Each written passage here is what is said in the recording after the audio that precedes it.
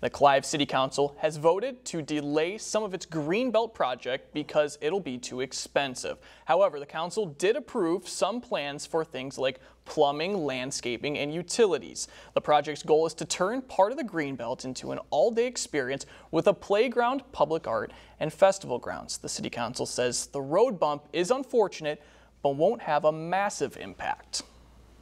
the boardwalk, the stage, and the building renovations come a little bit later in the construction uh, schedule. So the delay in that should not result in a major delay or very minimal delays to the overall construction progress. Developers will go back to the drawing board to make sure the remaining bid packages are within budget. City Council will meet again on the issue next month.